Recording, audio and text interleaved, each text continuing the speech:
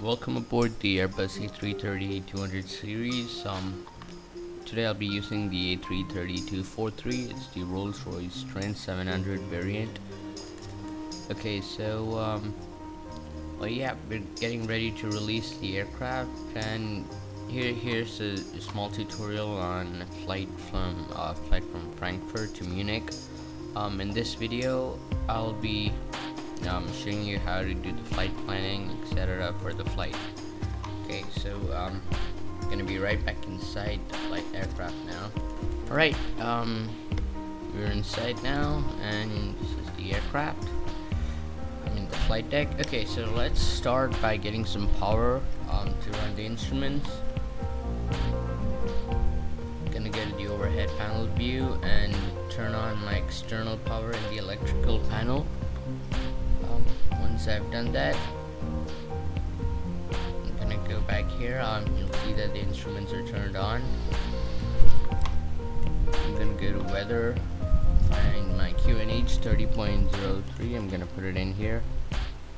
30.03 and you should notice that the altimeter is slightly changed. Okay so Okay, now let's get to the flight planning. Uh, this is the MCDU, Multi-Purpose Control and Display Unit. I'm gonna um, turn it on by rotating the brightness knob to full. Okay, so click on Data and Aircraft Status. So if you're using a company route, make sure that the company route code is uh, on the active nav database if you're not, you don't have to worry about it. Um, but by default, the database is MIA data version 3.1, but you could replace it with your own routes or change the database, so that's fine. Okay, so I'm gonna go to init to initialize my route. As you're not using a company route, I'm gonna leave that empty. I'm gonna go to from to and eddf slash eddm. There we go company route not available in an empty flight plan insert. So I'm gonna put in some uh, flight number. Well I'm, I'm, just using a random flight number UE because it's Emirates. I'm just um, I'm using the Emirates livery so.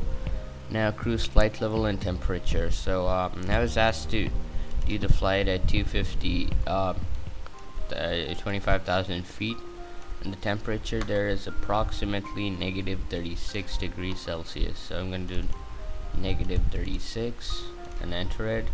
Uh, very realistic cost index of 32 should do. Okay now I'm gonna go to pro, uh, the flight plan. Okay like um you see that it's initialized an empty flight plan from Frankfurt to Munich. There's there are no waypoints in between so what we're gonna do is put the waypoints. So um, I had this flight plan mapped out earlier. I'll, I'll put it in I'll put it in the description. So I'm gonna click on click here to go to the lateral revision for Frankfurt.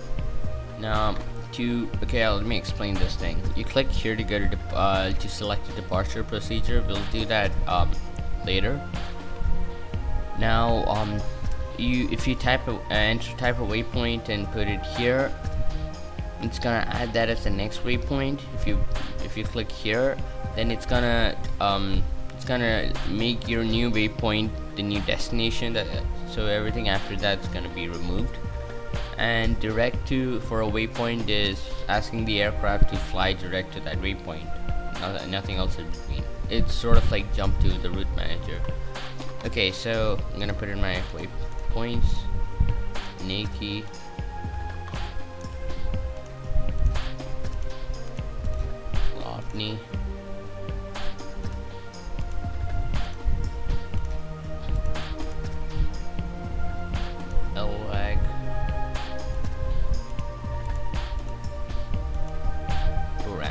Okay, so that's off when I'm going to return and see that all our waypoints are there. It's only four. It's a very short flight. Now, uh, as you can see, all the times are all the times are 30. Um, to, get proper time and fuel prediction, we're gonna have to enter our speeds and altitudes. So uh, we're gonna be cruising by Lopney, so I'm just gonna put in 250 slash um, 14,000 feet at ANEKI and 0.7 Mach at 25,000 feet here again 5,000 go down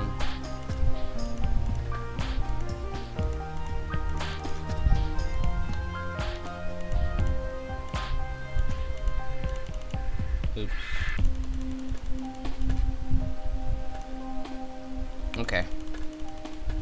So we're done. Oh wait, EDDM.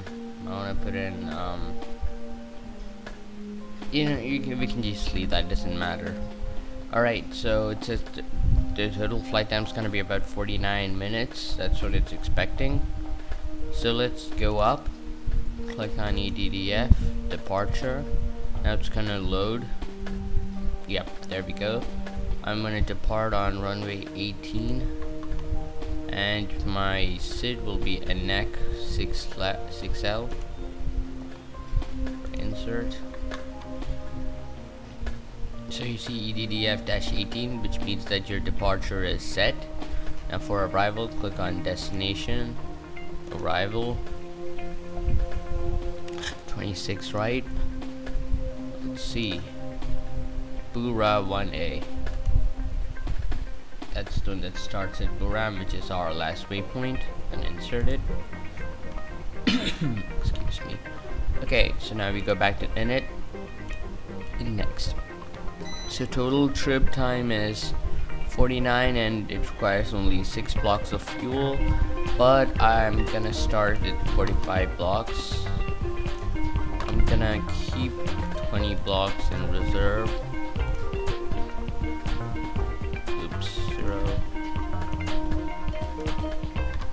Okay, 20 blocks in reserve. And there's uh, there's an extra 19 blocks, which is okay. I mean, it is a short flight and right. So if you go to fuel and payload, um, I've emptied everything with a fuel truck, the tanks. I'm gonna calculate how many blocks is this. So 45 multiplied by 804 to get the kilograms. That is 36,180. So I'm gonna go to fuel truck controls. 46,180. Refuel. Okay, so um, it started refueling the aircraft. Can wait for that to happen. Okay. So now, um, next is progress. So this just tells you the progress of your flight. Um, now here's the GPS accuracy. You can use this to toggle between high and low, but I usually keep it at low because it um, it ensures a smooth transition between waypoints. And I'm just gonna put it DDM so that I can check. And if I want to manually fly, I can just follow this BRG and distance in case something happens. Okay, so performance. Okay, V1 at 45 blocks approximately 138, V2 is 144, and I mean V rotation speed is 144, and V2 is 155. Um, you need to, okay, refueling complete, have a nice flight. Okay, so uh, you need to put these in here for, for, for it to announce to you, but um, doesn't matter if it's not there. Next phase. Okay, so now action mode there are two types of managed action modes. One is to get the data from the flight plan, and the other is to use the data you put in your performance page per phase. So I, I mean, we didn't really, you know, put anything in our flight plan properly. I just put it in, put some random things, so it helps in calculating uh, the fuel required. So I'm going to use the performance section to specify my speed. So I want a climb speed of 250 and the transition time speed of 280 climb Mach of 0.68 and change this to perf next cruise at 0.7 Mach and change to perf descent descent to 40 to 50 0.65 Mach change to perf and here approach it doesn't take anything from the flight plan. It's either automatic or it's performance. I'm gonna keep it at uh, automatic as um, that gives you the best values for how land. Okay so um, that's all. We, flight plan is done. Progress. I need internet data. Radio navigation. Okay so uh, on takeoff I want to track the uh, I, I had this planned out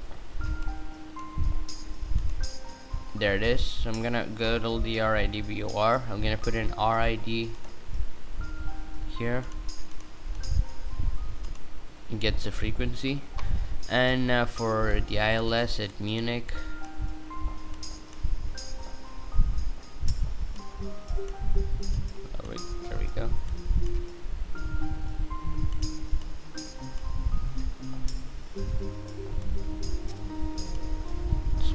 108 point no just 26 left on 26 right okay. 108.70 oh, 108.70 but then the ILS frequency and okay so we have just completed our flight planning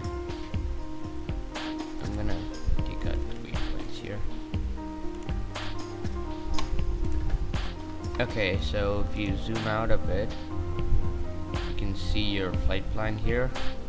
Um okay so just gonna get back to about 20 nautical mile range for this thing.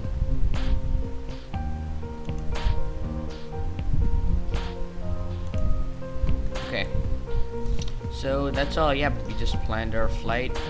Um alright uh, uh, auto arm setting I mean autopilot arming. Okay so so now we're not gonna turn on any autopilot we're just gonna arm it.